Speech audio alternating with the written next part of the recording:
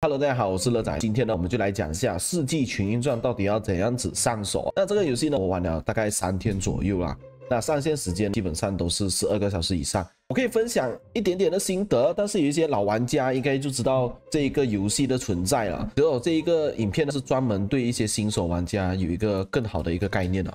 那首先，这个游戏其实不一道很复杂。那你点开你的这一个旁边设定这边，你可以拉下去，这边有一些一个叫做“我要变强”这个东西。就从这一个地方，你就可以看到你必须要做一些什么东西，让你自身可以变得更加的强。比如说，你可以提升你的等级，去告诉你去哪里推荐刷机、挂机。透过完成任务获得的经验值是比你在挂机获得的经验值还要来的更高的。那挂机这个部分要怎样获得更多的经验值？我们等一下会有讲到。再来有属性配点这个东西，那直接点过去这边，你可以看到它这边会有配点。那我通常都是按推荐的。然后武力值都会点高一点，因为你需要更多的攻击力去刷后面的一些怪物，所以这边是推荐武力要高一些。那再来就是技能升级这个部分，那这个其实很重要，因为它关系到你整体的后面刷怪的速度。天网这边呢可以看到这些东西都是很重要去升的，这个是有上限的，所以也就是说你刷这一个怪的时候，它会慢慢一直提升，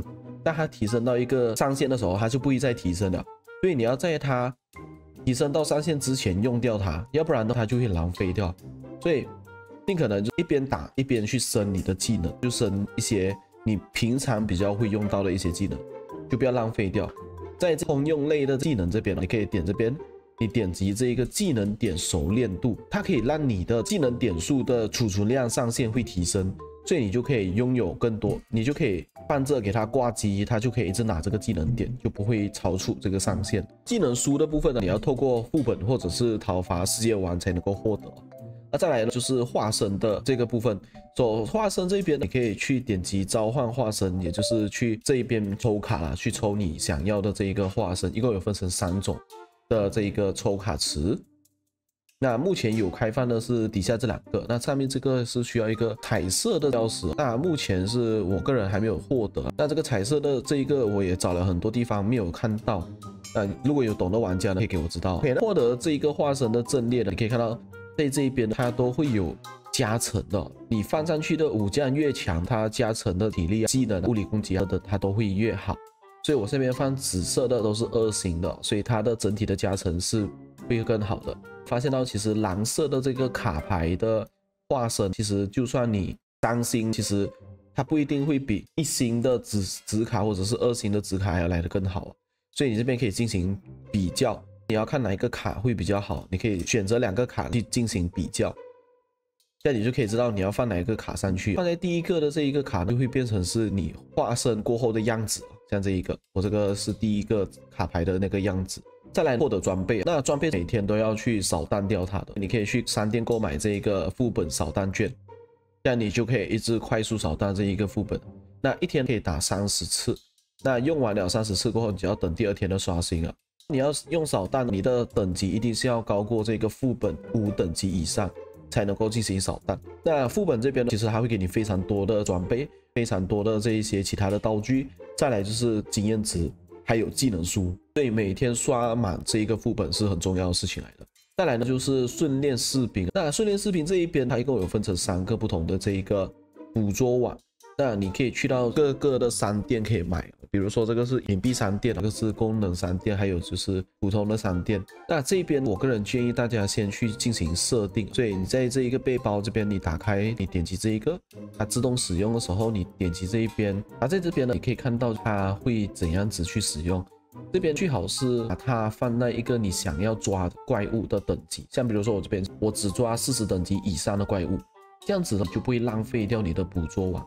那一开始我不不知道这个东西，它原本的设定是在一，所以变成说只要是怪它都会抓进来，所以变成说我的背包很快就满了，而且都是一些低等级的这一个士兵就没有什么用到，变成我删掉很多没有用到的这一个士兵，我的这一个捕捉网就浪费掉了。所以那边设定的时候一定要设定你想要抓的这一个等级的兵，士兵的等级它也是会有分的，而且还有分品质。所以这个是最普通的，这一个是绿色等级的。那我相信还有蓝色，还有紫色。再来呢，装备强化这一个东西。那装备强化基本上只要你有刷副本，你的装备一定不会有任何的缺失的啊，那可以做到全部都是紫色都不是问题。甚至如果你运气好，其实你可以抽到有红色武器的，还有金色武器的都可以刷得到的。那有一个金色的，我是放在我的仓库，所以我没有放在这边。只不过每次刷到这种比较稀有的这一个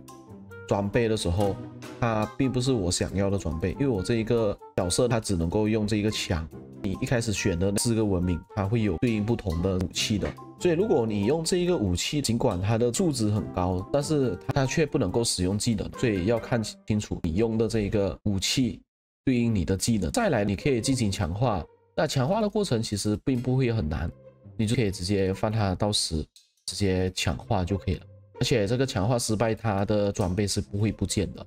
那只不过如果你是精炼，那你这个精炼失败，它的这个装备就会不见掉。所以其实还要多注意一下。所以如果你不想要你的这个装备不见掉，你可以用这一个东西，叫做祝福石，它可以让你的这一个装备防止不见掉。你可以看到，像我现在一星，它是可以让我的消失的几率是零，所以我这个是完全不会爆的，就算是失败。但是如果你的星级越高的，后面到四星、五星甚至更高的，那有可能它的失败率就没有到这么低了，可能它就慢慢提升。所以这个也是蛮危险的，这个你要要看清楚。我这边可能就先示范一个给大家看一下，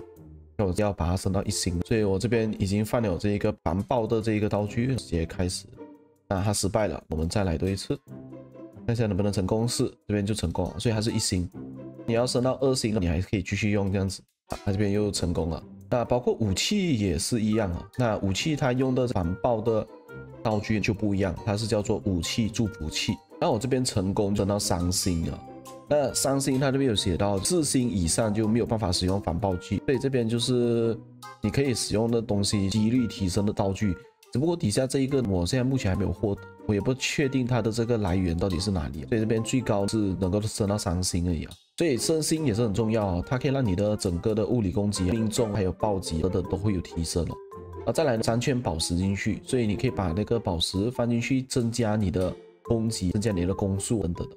宝石也可以进行合成，所以三个一样的这一个宝石，它会合成一个新的。所以假设我这边合成，它合成出来的这一个品质就会更高，它是绿色品质的。所以以此类推，你可以一直这样子合成下去。那假设这边你有不喜欢的这一个装备的，重新造你的这一个装备，所以这边你可以敲掉你的装备。那么剩下最后一个提升的部分是军团，可以让你的研究可以提升你的军团成员的能力。所以，就算你离开这个军团，你本身学到的能力还是能够可以保存的。再来就是官职的部分，只不过官职你要四十等级过后才能够提升。所以，目前我是还没有提升的，我差一个等级。那再来呢，就是成就的部分了。你获得越多成就，你的额外能力就会提升。所以这些成就就是包括像你可以击杀多少个目标，它就可以解锁多少个这一个成就，会有增加更多的这一个能力。还有像这边就会给你一些奖励等等的。这边也是可以去玩，比如说强化你的装备超过五百次，把你的装备成为四星等等的，它会给你更多额外的奖励。那再来呢，就会更就是图鉴了。那图鉴的部分呢，这一个就是你获得越多的这个装备，或者是玩具，或者是化身，或者是士兵等等的，只要你获得新的东西，它这边没有的东西就可以解锁这一个图鉴，你就可以获得这一个积分。那积分这边你又可以获得奖励，可以提升你的攻击力啊，或者是可以提升你的魔法攻等等的，所以这边也是可以额外提升。但是我整体来讲，我觉得前期这一个加成其实比较少，所以最高的加成，我个人认为前期的是化身，还有你的装备，再来就是你的士兵，这几个其实很重要，在前期来讲，会比较推荐大家去做。我们要记得啊，在打一些挂机的时候，我们可以用的就是经验加倍的东西。还有包括一些获得技能点数，这个也是可以去在这边开启的，这些都在商店可以购买，这样子可以方便提高你的这个刷怪的效率。最后我们来稍微推广一下我们的军团，那我们军团是叫做玩家碎发枪团，所以如果大家有兴趣的话，那目前我们是收三十等级以上。